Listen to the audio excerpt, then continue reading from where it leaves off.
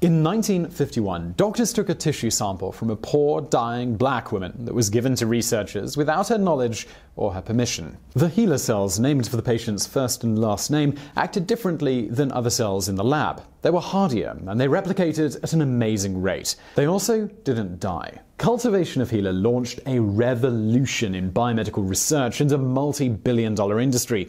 The cells were sold all over the world and led to important advances to fight humankind's deadliest diseases, including polio, HIV, and cancer. No one, aside from the patient's doctors and lead researchers, knew the origins of the HeLa cells, not her name or anything else about her life. Two decades passed before this mystery woman was revealed, and it was many more years before her family had answers to their most burning questions. Today we examine the woman behind the notorious and immortal HeLa cells, Henrietta Lacks.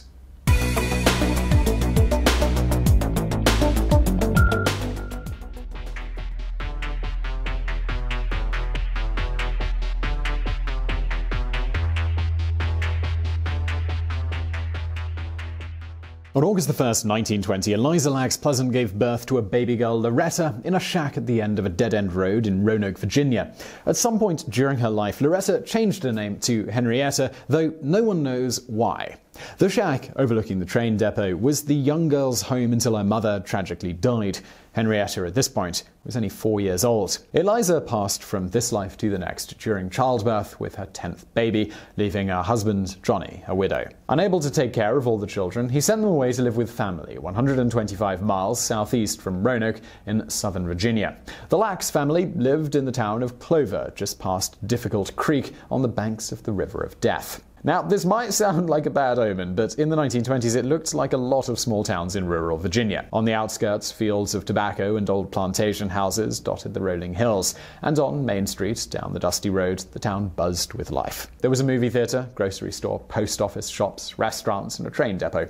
Henrietta wouldn't recognize the town today. Clover lost so many of its residents by the late 1990s that its official charter was revoked. In the last census in 2010, the population had dwindled to a mere 400. 138.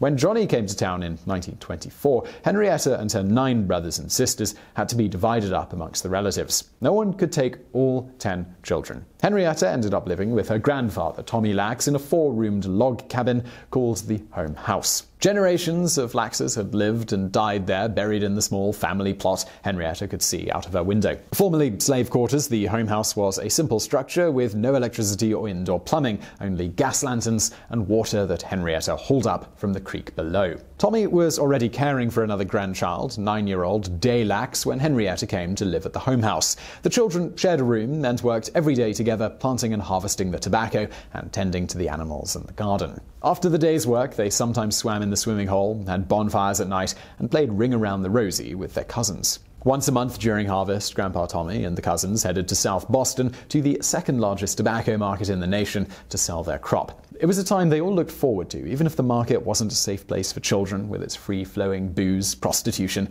and the occasional murder.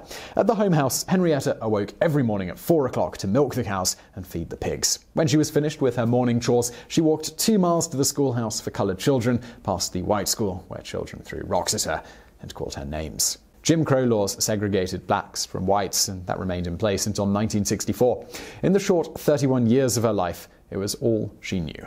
By sixth grade, Henrietta walked to the schoolhouse one last time. Like Day and the other Lackses, she dropped out to work in the tobacco fields.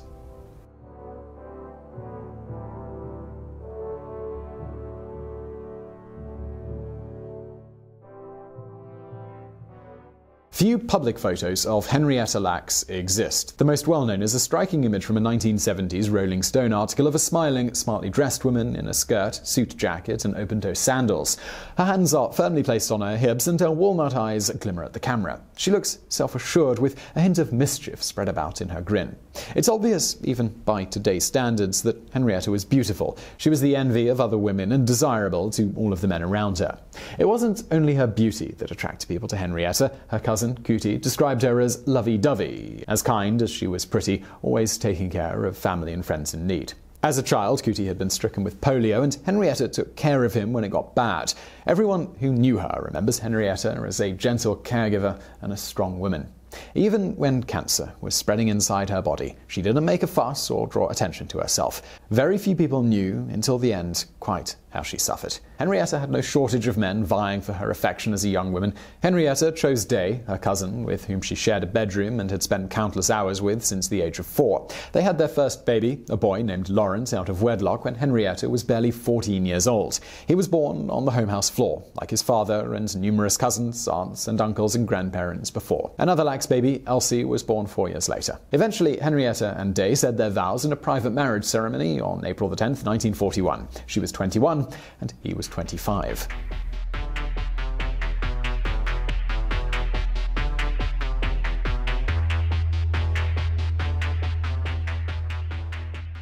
By the winter of 1941, the country was at war, and small tobacco farms, including Henrietta and Day's, were barely making enough to make ends meet. But to the north, there was opportunity in the booming factories. Demand for steel was increasing.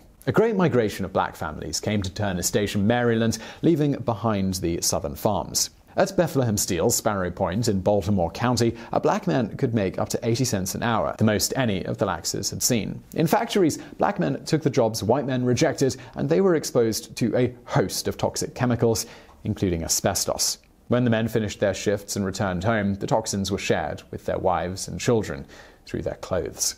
At the urging of Lacks's cousin, who was doing well for himself at Sparrow Point, Day and Henrietta moved with their babies to Turner Station, starting a new life. Other cousins made the transition too, including Henrietta's close friend Sadie. The city was a change for the Lackses, but they adjusted and they had fun. After cleaning, cooking, and taking care of the children, Henrietta and Sadie would put on their dancing shoes and sneak out until the wee hours. The two women boogied, laughed, and had a great time. And when they weren't dancing, Henrietta, Sadie, and Sadie's sister Margaret played bingo bingo in Henrietta's living room. Turner Station was new and exciting, but Henrietta preferred the country.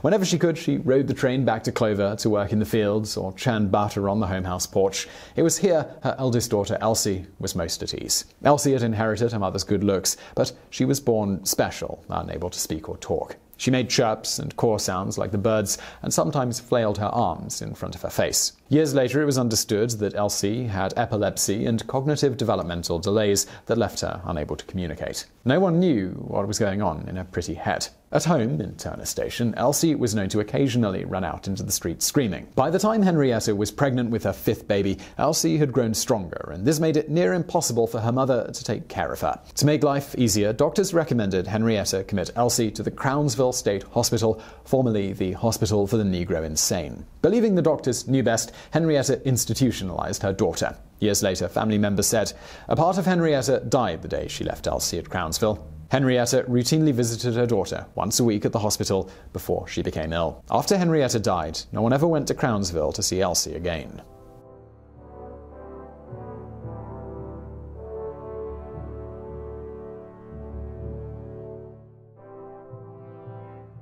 Henrietta was certain there was something wrong with her a year and a half before her official cervical cancer diagnosis. She shared her worry with her cousins Sadie and Margaret, saying there was a knot inside and explaining how it hurt something awful when that man want to get with me. Sweet Jesus, aren't them but some pains. The women poked at her stomach over and over and felt nothing. Maybe it was a baby growing inside, they suggested. To be sure that nothing was seriously wrong, her cousins tried to convince Henrietta to see a doctor, but she didn't. And about a week later, Henrietta found out she was pregnant. The ladies reassured her that it was just the baby, making her feel funny, but Henrietta wasn't convinced. Nevertheless, she didn't bring it up with Sadie and Margaret again, and the women never mentioned the conversation with anyone else.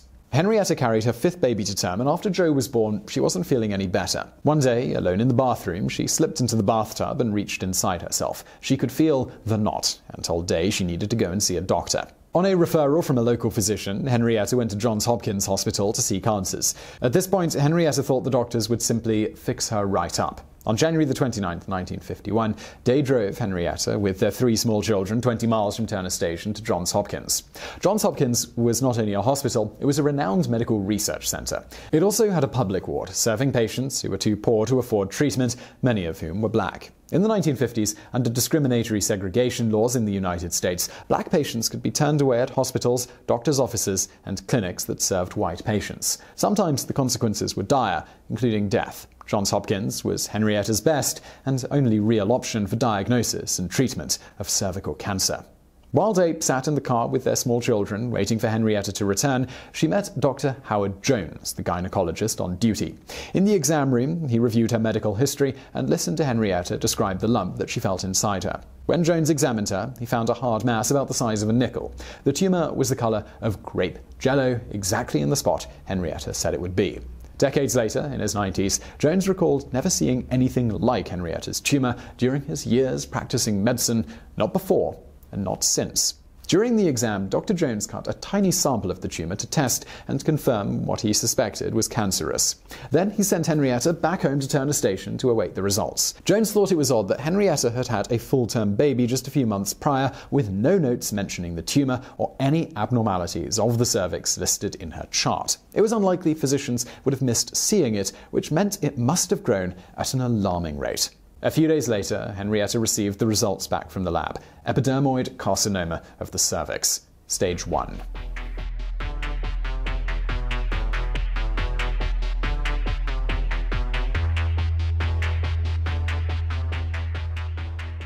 In 1951, it was standard practice to conduct research on public ward hospital patients without consent. Explicit permission or informed consent from patients wasn't a term that was coined, and so no legal or ethical standard existed in the United States for obtaining it. At Hopkins, the then leading cervical cancer expert in the world, and Dr. Jones's boss, Richard TeLinde, believed that since the patients were treated free of charge, the research was a form of payment for the hospital services. When Henrietta went in for her exam, a sample from Henrietta's tumor was sent to George Gay's lab, the head of tissue culture research at Hopkins, without her knowledge.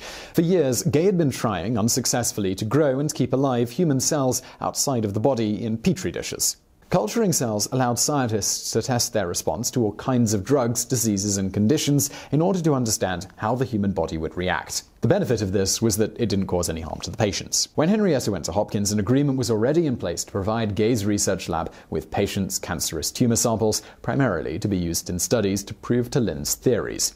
TeLinde was a believer that of the two types of cervical cancer, the non-invasive variety, carcinoma in situ, could spread and become deadly. This was contrary to what the majority of researchers thought at the time, and physicians' practices followed this conclusion, treating only the invasive cancers aggressively. He actually had another another motive for his research using cells too. TeLinde wanted to reduce the number of unjustifiable hysterectomies by detecting what wasn't cervical cancer at all. The pap smear test used to identify changes to a woman's cervical cells was developed only a decade earlier, but few physicians could interpret the results and treat patients accordingly. In extreme cases, a woman who just needed a few antibiotics to clear up a minor infection might have had her entire uterus removed in a surgical procedure. When Gay's lab assistant Mary received received Henrietta's tissue sample, she had every reason to believe the cells, if they lived at all, would die within a few days. She was eating lunch and decided to finish her sandwich first. So far, even with Gay standards, meticulous process, and emphasis on sterilization, his lab had little success with growing human cells. When Mary got to work on Henrietta's cancer cells, she carefully and precisely sliced the samples with steady hands, mixed the media the cells would need to grow, and labeled them HeLa for the first two letters of Henrietta's first and last names. Then she left them alone, not really expecting very much. By the next morning, to Mary's surprise, Henrietta's cells had divided, and in the days ahead, HeLa kept making copies of themselves. They grew unlike any cells before and expanded into as much space as Mary would give them. Gay was ecstatic because the cells were growing like crabgrass, and soon, among researchers, word was out about the amazing HeLa cells. Everyone knew the implications for furthering biomedical research, and this was Gay's goal. Soon, he began sending HeLa cells to any scientist interested in using them for their own studies.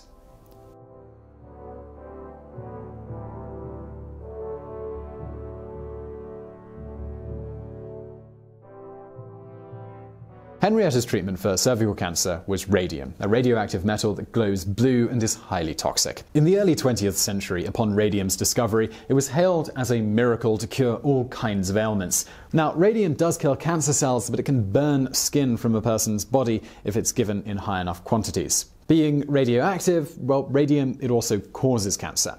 In 1951, the radium treatment for cervical cancer involved placing tubes inside the patient next to the affected area. Common side effects included nausea, vomiting, weakness, and anemia. If Henrietta experienced any of these, she didn't let on or seem sick at all. After treatment started, Henrietta finally told the same cousins she confided in about the knot inside her. She didn't want anyone to worry, but the frequent visits to Johns Hopkins would mean she would be away, and people would certainly wonder. Initially, the radium treatment seemed to work, and doctors recorded the tumor as having vanished. As therapy progressed, Henrietta didn't feel any better, and to her horror, her abdomen turned from soft brown to black as coal. One day, she lifted up her shirt and showed Sadie and Margaret, and said it felt as though the blackness be spreading all inside. The radium treatments didn't cure Henrietta's cancer. By the fall of 1951, her body was full of tumours in her diaphragm, her bladder, cervix, kidneys, lungs, and it was all causing her excruciating pain. She lay in bed at Johns Hopkins and screamed out like it was the devil of pain itself. Between the treatments and the cancer, Henrietta was weak and her kidneys were no longer flushing out dangerous toxins in her blood. She had to receive numerous transfusions. The doctors tried different medications to ease her suffering, including morphine, which didn't even touch the pain. On one desperate attempt, the doctors even injected alcohol into her spine, but nothing seemed to work. All anyone could do was sit beside her bed and pray. Henrietta's sister Gladys was at her bedside the night she succumbed to cancer. Knowing her time had come, Henrietta made her sister promise to take care of her kids and whispered through tears, Don't you let anything bad happen to them children when I'm gone. At 12:15 a.m. on October 4, 1951, Henrietta Lacks took her last breath and died in a hospital bed. Her body was sent back to Clover and buried in the family plot in an unmarked grave next to her mother.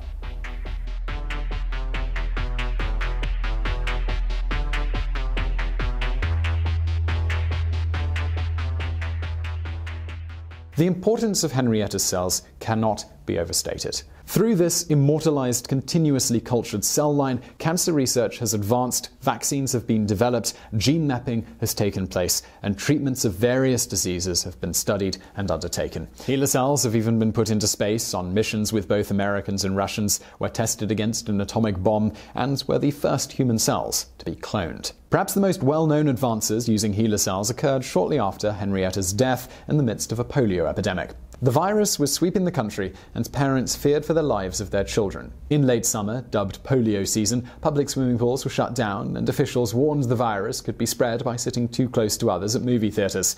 By 1952, 60,000 children were infected, and thousands were paralyzed. A vaccine was in development by Jonas Salk, but he needed a way to test it in a lab on a grand scale before injecting children. HeLa provided the perfect opportunity. Soon, the HeLa project at Tuskegee University began growing the cell line, employing mostly black women lab technicians. Tuskegee's mass production of HeLa would serve as the first of its kind, and it helped launch a multi billion dollar industry when the first commercial cell culture operation began using Tuskegee's model in an old Fritos factory in Bethesda, Maryland. While this groundbreaking biomedical research was taking place, only a handful of people could trace the HeLa cell line origins back to a poor 31 year old black woman with cervical cancer. Two decades would pass before the name Henrietta Lacks was finally released to the public.